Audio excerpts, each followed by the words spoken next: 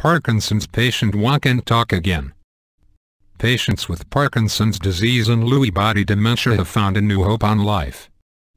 According to the presentation of Dr. Charbel Moussa and Dr. Fernando Pagan from Georgetown University Medical Center in Washington. This week at Neuroscience 2015, on October 17 to 21, in Chicago, Illinois. An expensive anti-cancer drug, reverse even late-stage Parkinson's disease, enabling them to speak and walk again for the first time after years. Dopamine production increased in patients to the extent that dopamine drugs can be lowered or stopped. There are several treatments for the symptoms of Parkinson's, but this would be the first time a drug has worked on the causes of the disease. Nilotinib, a drug for chronic myelogenous leukemia in the dose from 150 to 300 mg a day over 6 months does this miracle.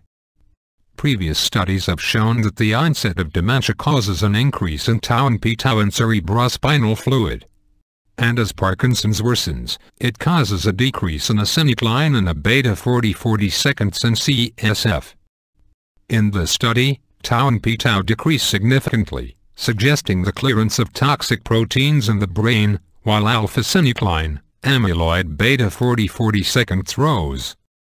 Nilotinib appears to penetrate the blood-brain barrier in amounts greater than dopamine drugs. All patients experienced benefits and clinical improvements, but the most dramatic was in their behavior. Most patients experienced an improvement in cognition, motor skills and non-motor function improvement such as constipation. One individual confined to a wheelchair was able to walk again. Three others who could not talk were able to hold conversations. On stopping the nilotinib treatment patients again underwent cognitive and motor decline. Participants with earlier stages of the disease responded best. Then those diagnosed with Lewy body dementia, a combination of Parkinson's and Alzheimer's disease. Nilotinib in higher doses leads to the death of tumor cells. In smaller, daily doses, nilotinib clean out the cells without causing cell death. Then abnormal proteins that build up again will be cleared when the drug is given the next day.